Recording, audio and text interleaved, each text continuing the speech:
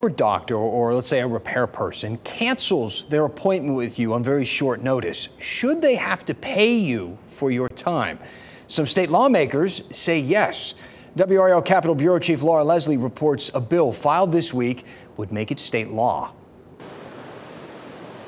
Yeah, that bill would cover any service provider who would charge you if you cancel your appointment or are late.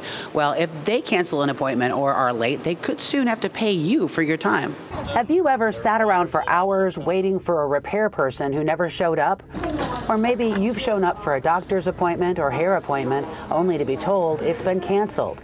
Under the proposed Service Customer Equal Value Time Act, if that business would have charged you a fee for canceling or not showing up, then they would have to pay you the same fee if they did it. To me, it just made sense, just plain common sense. Representative Ben Moss is one of the sponsors. He says people often have to rearrange their day or even take time off work for service appointments. You may change your schedule for the day, you may take early lunch. It may be an inconvenience to you, but you meet or you're there in place and they don't show up. So if you get penalized, it should be a two way street. It should be the same way for whoever's trying to provide the service. Moss expects resistance to the idea from the business lobby and likely from other affected groups as well, like the medical and dental professionals. He says they'll probably push for changes to the bill in committee.